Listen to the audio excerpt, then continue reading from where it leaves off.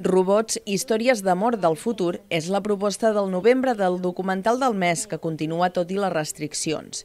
Si aquesta temporada l'activitat ja es va traslladar a l'auditori de l'Ateneu per poder mantenir l'aforament i les distàncies de seguretat, ara la proposta ha passat a ser telemàtica, ja que les últimes restriccions han obligat a tancar els equipaments culturals i suspendre tots els espectacles i activitats presencials.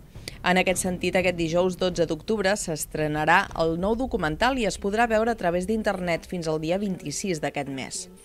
Per poder accedir al contingut, però, cal omplir un formulari inclòs a la pàgina de l'esdeveniment de la web de Cultura de l'Ajuntament de Banyoles. Robots i històries de mort del futur és un documental dirigit per Isa Willinger i en el que es mostren històries relacionades amb la intel·ligència artificial i els robots.